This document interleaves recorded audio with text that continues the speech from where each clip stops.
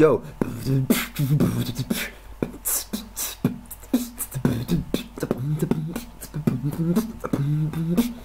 Hvad så sammen, der har man her i dag, så vil jeg gerne lave en hurtig video, hvor jeg kommenterer på en øh, lille emne, øh, folk har kommet ind på, øh, eller store YouTubere, så det vil jeg gerne komme med min øh, perspektiv på, øh, som handler omkring, hvordan, hvor den danske YouTube-community er på vej hen. Øh, der vil jeg give min objektive perspektiv på det her, og at øh, jeg gerne vil give min synsvinkel på det her. Øh, fordi jeg kunne huske før i tiden, ikke? så var det sådan, at øh, hvad hedder, mange kunne lide mine slide-videoer, og det var mange, der blev lidt glade for, og så var der, de sagde, hvorfor spiller du ikke Minecraft, hvorfor spiller du ikke det der, og det, alt det andet der. Men øh, så var det, jeg gav jer muligheden for at spille de spil der jo, fordi at jeg ikke har Minecraft, så jeg gider heller ikke at spille det. Så, øh, men ja, jeg kan huske, at folk de blev mega, popul- mega populære af at lave gameplays, og øhm, jeg tænkte på, hvorfor ikke lave et shout-out til dem? Altså lad ligesom de YouTube-community gro lidt mere og vokse lidt mere. Så tænkte jeg, det var fedt nok, altså nu har jeg givet nogle shoutouts, nu er de blevet lidt mere populære, og mere populære end mig faktisk. Så, øhm, ja, altså, også, og se hvor det er nu, altså der er mange, der har fået subscribers, og de er mega populære og sådan noget. Og, øhm, men det hedder, jeg kan huske også før, øhm, gameplay-videoer. Faktisk så var det faktisk videologs, som var øhm, mega populært, som jeg også lavede øh, shoutout video til.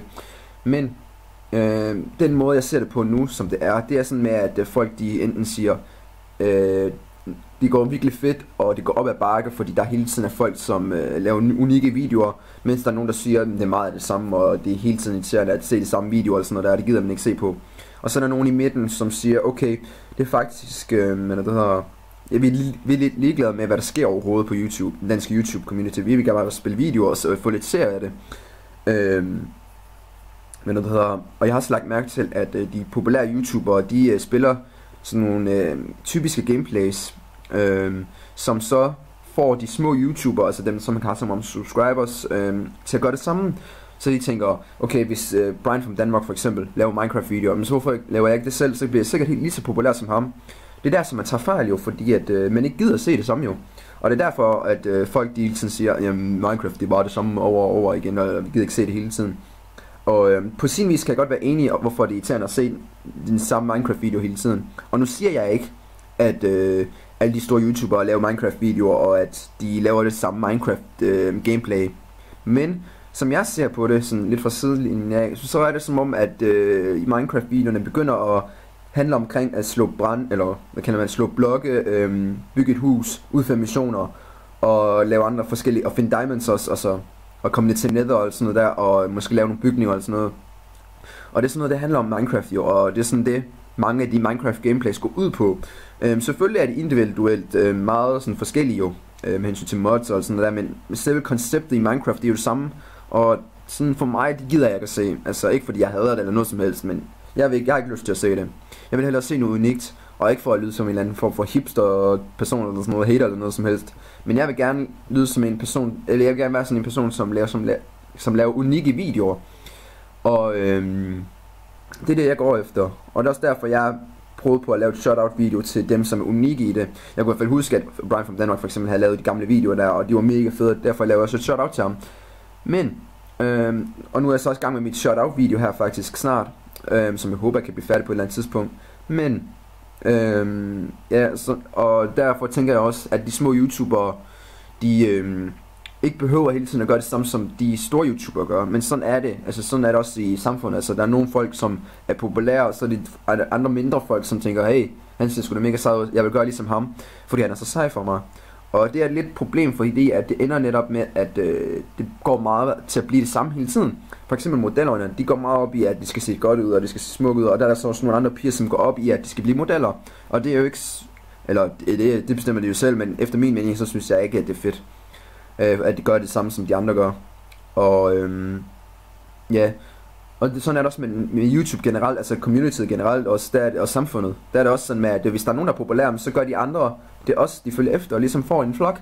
Og det er ikke for at lyde som en eller anden, en eller anden hater eller noget som helst, det er bare, sådan, sådan er det. Det er, et, det er et faktum, øh, og sådan er det jo. Og øh, derfor så synes jeg, at øh, man burde ligesom være sin egen man burde gøre det, man har lyst til. Selvfølgelig, hvis jeg har lyst til at spille Minecraft, så gør det endelig. Altså, jeg er ligeglad, altså, jeg kommer ikke til at se det. Og øh, hvis I har lyst til at lave gameplay på et eller andet, så se det endelig. Altså, det bestemmer, eller så lav det endelig. Det bestemmer I selv jo. Det, altså, hvis I kun udelukkende laver videoer på grund af, at I gerne vil blive set, og at I gerne vil uh, blive populære, så drop det, altså det kommer jeg aldrig til at blive. Og det er ikke fordi, jeg vil lyde demotiverende eller noget som helst, det er bare, altså, I kom, hvis I laver noget unikt, så kan det godt være, at I måske bliver populære, men så lad være med at lave Minecraft-videoer. Lav noget unikt i stedet for. Øhm, eller lav noget unikt Minecraft-video, hvor I for eksempel øhm, hvad hedder, laver tutorials af Minecraft. Øhm, for eksempel, at de viser, hvordan cobblestone, eller cobblestone, øh, hvordan øh, redstones fungerer, eller sådan noget der. Og sådan noget, det synes jeg, jeg skulle bruge at lave. Det har jeg ikke lagt mærke til, at nogen lave. Så øhm, der var der en idé til jer, måske, til jer Minecrafter derude, som I gerne, som måske kunne komme på, øhm, hvad hedder, lave nogle gode videoer i hvert fald. Så ja, hvad er det nu? Nå ja, en anden ting, det er også, at jeg har lagt mærke til, at øh, de, danske, de store danske YouTubere, de også sætter en form for standard. Jeg, snak, jeg har hørt omkring, at de havde lavet en eller anden form for video, hvor de, hvor de sagde, hey, vi sætter lige en standard for en eller anden YouTube her, den danske YouTube community, og det synes jeg måske også er lidt synd, fordi det, det hvad skal man kalde det, det, hvad kalder man det, fastlægger det for meget, eller man skal kalde det, det, det, det jeg, ved, jeg, ved, jeg ved ikke, hvad det hedder på dansk, hvad det, jeg kan ikke forklare det rigtigt, men øh, sådan med, at det, det bliver sådan meget strikt, strikt, tror jeg det hedder, ja. Hvor at, øh, hvor at det bare skal køre på en måde, og kun deres måde. Altså hvis du ikke for eksempel gør ligesom alle de andre du store danske YouTube, så ender det aldrig med, at du bliver populær, og hvis du ikke uploader din video i øh, 720p, så ender det med, at øh, din øh, video bliver bare mega dårlig. Øh, hvis du gerne vil, du, bør, du, du skal ikke gå efter at blive populær i hvert fald, det skal du ikke, og jeg har ikke nogen guide til, hvordan man bliver populær. Det eneste du skal gøre, er bare at lave videoer, så ender det med, at det bliver fint nok jo. På forhåbentlig i hvert fald, og folk der ser det. Øhm, det er også derfor, jeg lavede de shoutout videoer, for ligesom at give de her små YouTubere en chance for ligesom at kunne få set af, blive set af andre.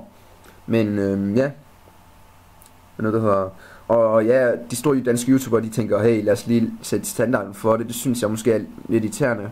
Fordi at, hvad nu hvis, den, hvad nu hvis man ikke har det sygeste udstyr, og man ikke har noget en headset eller sådan noget der. Altså som man kan se, jeg har en bærbar, og det eneste jeg kan optage med, det er med XSplit, altså og men ja, sådan er det jo, altså jeg kommer nok ikke til at blive en stor dansk YouTuber, det kommer aldrig til at blive, og det håber jeg heller ikke, jeg kommer til at blive, fordi at det ender med, at, det, så at jeg føler mig forpligtet til at lave videoer, og det er også det, der tror jeg måske går ud på, når man laver en partnership med en eller anden ting, så ender det med, at du skal lave videoer præcis en gang hver øh, uge eller sådan noget, det, og det, det gider jeg ikke.